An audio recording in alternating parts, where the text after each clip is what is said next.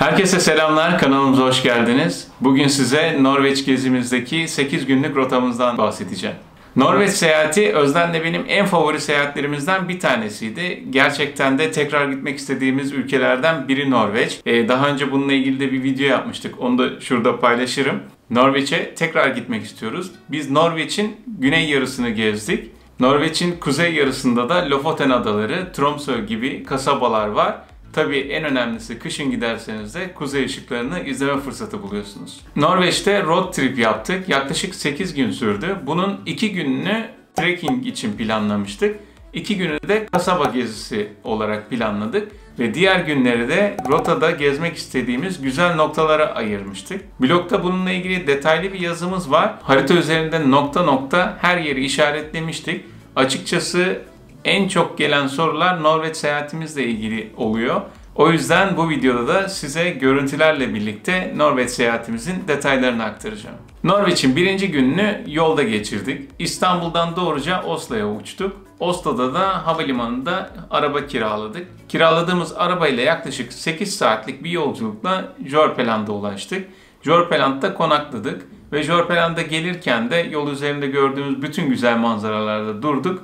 Hatta Norveç'in ahşap kiliseleri meşhur. Bu yol üzerinde ahşap kiliseler de var. Onları da ziyaret ettik. Ve ilk gece Jorpeland'da konakladık.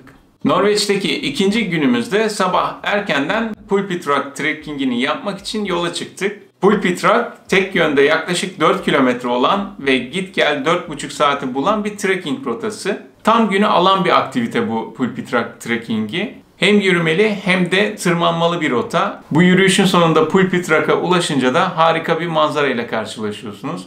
Pulpitrak'tan fiyordun manzarasını izlemek, gerçekten orada vakit geçirmek inanılmaz güzel. Yürüdüğünüz her dakikaya değiyor. Bu Pulpitrak'a arabayla 1-2 saat mesafede Kiara Bolten adında farklı bir trekking rotası da var. Oraya da trekking yapmaya gidenler var. Ancak biz tercih etmedik. Biz tercihimizi Trolltunga'dan yana kullanmıştık. Trolltunga'ya gidebilmek için de bu Pulpitrak rotasını tamamladıktan sonra hemen arabaya binip yaklaşık 4 saatlik bir yolculukla Tisedal kasabasına doğru yola çıktık. Bu kasabaya giderken de aradaki güzel şelale manzaralarında durduk. Bunlardan en güzeli Latefossen. Kesinlikle durmanız gerekiyor. Çünkü akan ihtişamlı bir şelale ve yolun altından akıp gidiyor. Gerçekten görüntüsü harika. Amacımız Tisedal'de konaklayıp ertesi gün doğruca Trolltunga rotasını, trekkingini yapmaktı. Trolltunga trekkingi yaklaşık 20-25 kilometrelik bir yürüyüş rotası.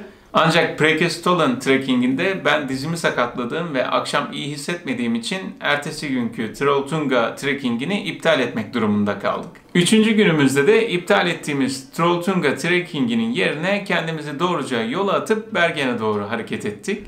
Tisedal-Bergen arası arabayla yaklaşık 3 saatlik bir yolculuk. Ancak Norveç şelaleler ülkesi olduğu için Yolda giderken Warringfossen, Steindalsfossen gibi iki tane güzel şelale var. Bu şelaleleri de gördük. Bu üçüncü günde vaktimiz de bol olduğu için şelalelerde dilediğince vakit geçirdik. Bergen'e akşam üzeri ulaştık ve ulaştığımız gibi doğruca konaklayacağımız eve gittik. Dördüncü günümüzde de Bergen kasabasını gezdik. Bergen bir günde gezilebilecek çok tatlı bir balıkçı kasabası. Bergen'den fiyort turu da satın alabilirsiniz. Gemiyle fiyortların arasına girip gezip oradan geriye gelebilirsiniz tekrar Bergen'e. Biz bu seyahatimizde arabayla zaten fiyatları gezeceğimiz için gemiyle gezmeyi tercih etmedik. Biz yazın gittiğimiz için de Norveç'te günler uzundu. Bergen'de gece 11'de bile hava kararmamış oluyordu. Gecenin geç saatlerine kadar gün ışığında gezebilme şansımız vardı. Beşinci gün sabah Bergen'de biraz daha vakit geçirdikten sonra 2,5 saatlik bir yolculukla Flam kasabasına doğru gittik. Yol üstünde Tvindafossen şelalesine ve Nairofjord'a da uğradık. Flam'a vardığımızda da Flam içerisinde gezmek istediğimiz yerleri gezdik. Çok güzel bir seyir terasından harika bir fiyot manzarası gördük ve terk edilmiş bir kasabada çok güzel fotoğraflar çektik. Flam'da o gece konakladıktan sonra ertesi gün dünyanın en güzel tren yolculuklarından biri olarak gösterilen Flam Sivana trenine bindik. Flam treni dünyanın en dik yokuş çıkan ve elle kazılmış tünelleriyle gerçekten harika manzaraları olan bir tren yolculuğu. Bu yolculuğun ortasında da bir şelalede durarak oradaki müzik ve dans gösterisini izleme şansınız var. Bu tren yolculuğundan sonra arabamıza bindik ve Geyrenger'e doğru yola çıktık. Bu yolculukta da dünyanın en uzun tünelinden geçtik. 25 kilometrelik dağın altından kazılmış bir yoldan ilerledik. Gerenger'e giderken bize Norveç gezimizin sürpriz yumurtası dediğimiz Sogne Fijellet yolundan geçtik. Normal yolumuzu değiştirip buraya girmiştik. Yüksek rakımda olan bir yol burası. Çok güzel manzaralara sahip. Açıkçası biz de arabayla tekrar tekrar durup bir sürü fotoğraf çektik yol boyunca. Temmuz ayında olmamıza rağmen kar top oynadık bu yolda. Çünkü yüksek rakımda olması sebebiyle karlar hala erimemişti. Hatta daha yükseklerde buzulları bile gördük. Akşamda Gerenger'e vardık. Gerenger'de fiyortların bitiş noktasındaki kasabalardan bir diğeri. Çok güzel seyir terasları var. Bu seyir teraslarına gidip manzarayı izledik ve o geceyi Geyrenger'de geçirdik. Ertesi günkü planımızda önce Atlantic Road'a gidip sonra biraz daha geri gelip Olesund'da konaklamaktı. Bu yolculuk yaklaşık 6-7 saat sürecek bir yolculuktu. Yol üzerinde Plattingen seyir terasında durduk. Açıkçası durakladığımız yerlerdeki en büyük turist yoğunluğunu da bu Plattingen seyir terasında gördük. İnanılmaz kalabalıktı.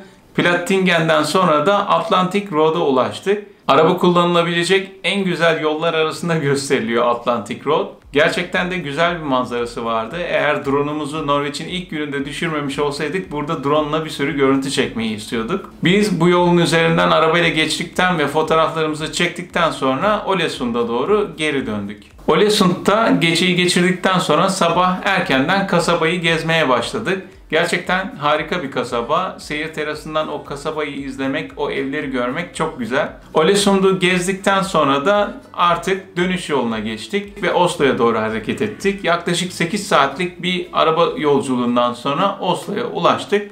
O gece Oslo yakınlarında konakladıktan sonra ertesi sabah erkenden uçağa binip İstanbul'a geri geldik. Norveç pahalı bir ülke. Biz gezimizin toplam maliyetini blogumuzda yazdık ve nasıl daha uyguna getirdiğimizi de oradan görebilirsiniz. Aynı zamanda YouTube'da da yine Norveç market fiyatları ile ilgili bir videomuz var. Onun da linkini yine buraya bırakıyorum. Daha fazla sorunuz olursa aşağıya yorum alanına bırakabilirsiniz. Biz gerçekten Norveç seyahatinde çok eğlenmiştik. Gerçekten çok severek gezdiğimiz bir ülke oldu Norveç. Umarım tekrar gideriz ve siz de oraları görme şansı bulursunuz. Muhtemelen pek çok yerin adını yanlış telaffuz ettim. Bunun için kusura bakmayın. Kanalımıza abone değilseniz abone olmayı ve diğer videoları da izlemeyi ihmal etmeyin. Tekrar görüşmek üzere, hoşçakalın.